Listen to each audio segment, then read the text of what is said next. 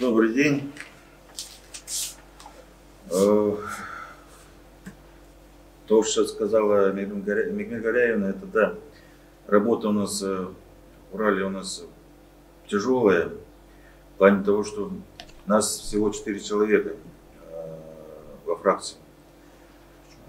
В прошлом году у нас добавилось еще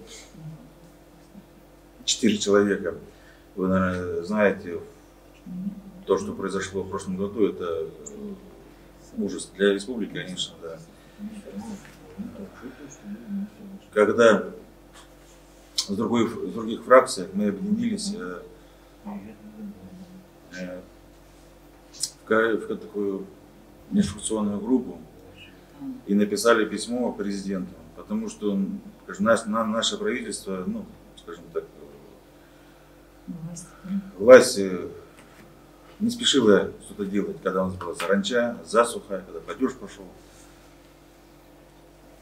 Это говорит о том, что ну, не все еще люди, скажем, такие э, черствые, как э, в большинстве там в Урале сидят. Потому что в прошлом году вот так все, все крутилось, завертелось э, из-за того, что ну, все так совпало, и ковид, и засуха. А, такие колоссальные деньги были потрачены и на республиканский бюджет для наших э, врачей, медиков, которые работали, борясь с ковидом в красной зоне. Но опять же, есть такие моменты упущения нашего правительства, которые ну, ну, ну никак это невозможно объяснить словами. Даже простой вопрос. Да почему-то в соседних регионах у нас э, Минобороны строит госпиталя за э, федеральные деньги. У нас почему-то не строят. На вопрос министра, который сказал, это у нас не подходит порозе ветров. Это что такое? Вот. Хотя, если бы сюда приехали бы инженеры с Минобороны, они быстро возвели бы эти госпиталя, всем бы хватило мест и лекарств, все было бы оборудовано. Ну, власть это смотрит как-то по-другому, другое видение. И то, что говорила коллегам э, в плане работы в парламенте нашей республики, было бы гораздо плодотворнее проходило бы, да, если бы нас там было побольше. А почему не, нас мало? Потому что вот все идет э, к тому, что людей отучили за эти 20 лет ходить на выборы. На выборы и голосовать. Отдать свой голос. А там математика 5-6 класса. Чем меньше придет, тем для них выгодно. Народ уже разуверился, согласен, не, э, не хотят даже ходить на выборы, но об этом забывают сами их избиратели, то, что их голос, так говорят в примере, да, мой голос не решает. Как раз и решает. Как наше Конституция написано, быть э, право избирать и быть избранным. И наше право, получается, забирает, забирает на выборы. Когда человек не пойдет на выборы, все это фальсифицируют, вбрасывают, тем самым плюют каждому из нас в лицо. Чтобы такого избежать, я вот э, призываю вас, э, друзей, там, коллег, знакомых, соседей, их, э, скажем так, поддержать, чтобы они вышли и пришли на выборы, э, за честные выборы. Вот именно за честные. А не так, как они хотят нарисовать себе протоколах. Это одно. А по поводу вот, э, закона детей войны, это очень э, было у нас тоже, это не один созыв, это уже вносились такие документы, как на проект. И вот на этот, э, в прошлом году, это наконец-то, да, все это разрешилось, разрешилось. Но вот хотел дополнить того, что в разговоре с министрами и со социальной защиты, и финансов.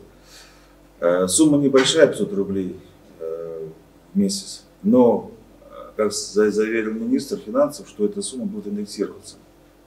индексироваться в плане того, что ну, как бы деньги у нас, это не секрет, они немножко оцениваются, да? Вот. Это вот уже победа такая. Потому что, на, на, почему пошли на это, я так думаю, потому что на сегодняшний момент самому молодому, скажем так, э, дитю войны, да, представителю этого поколения, да, с 45 -го года, тоже почти 76 лет. 76 лет – это самый молодой. А при, при том, что уже не в каждом районе есть ветеран войны. Вот. Это уже те, ну, как говорили, что и говорят, что это те люди, которые видели своими глазами войну. Вот, которые были детьми в это время. Я думаю, мы на этом не остановимся, будем ее, эту тему дальше будировать. Да, закон сырой, но будем его поправлять поправками в закон, законопроект, чтобы хоть как-то помочь этому поколению. Ну, я думаю, э, а поправкам, вот, э, как говорил, хотел добавить тоже по э, муниципальному фильтру, там тоже такой парадокс получился, вопрос. Наша фракция выступала за 5%, но так получилось, что Единая Россия предложила 7%, и они же проголосовали за 7%. Получается, как бы они, приняли. партия власти, они приняли, да, сподвигли, но вот э, опять же, очень парадокс. Э, глава администрации и Народного хурала разделяют один этаж. Как так получается? Документы поднимаются все на подпись наверх, где и этот закон не поступил туда. Единственный. Единственный. Он выпал из, из со списка. Вот вопрос. И на этом основании глава республики не подписал такой закон. Потому что неоднократно говорили, то что опять же возвращаясь к этому закону Конституции избирать и быть избранным, чтобы было у всех право баллотироваться э, в главы республики.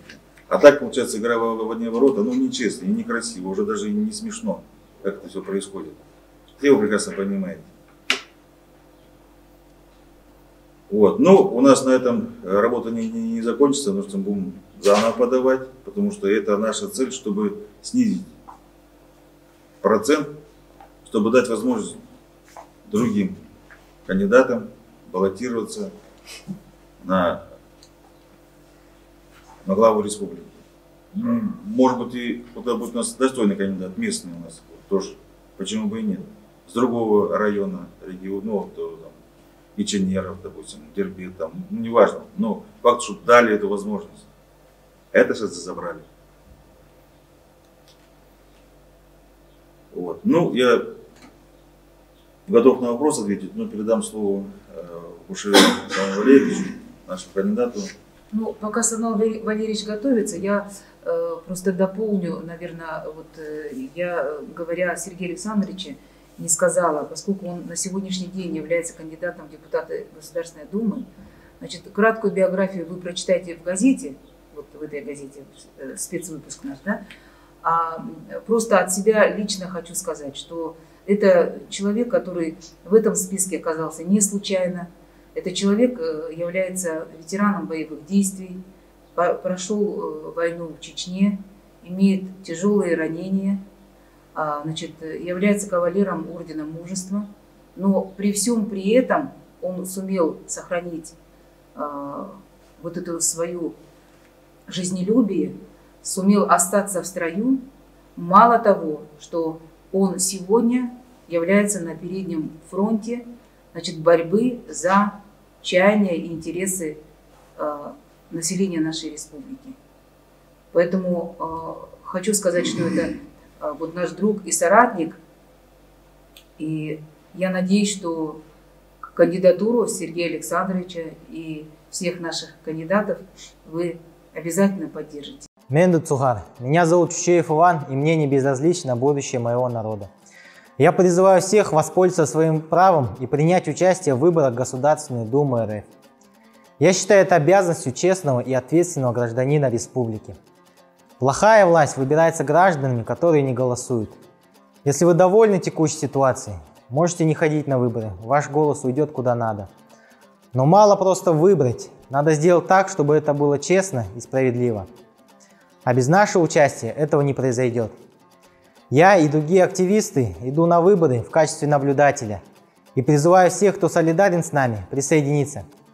Пишите в личку и в аккаунт «Твой выбор». Честный выбор – это твой выбор.